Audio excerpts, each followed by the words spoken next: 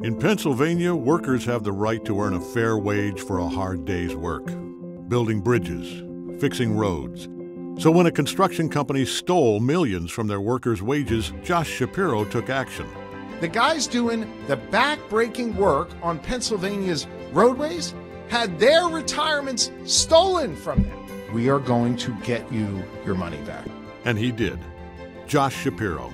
He's a man of his word, and he'll be a governor we can count on.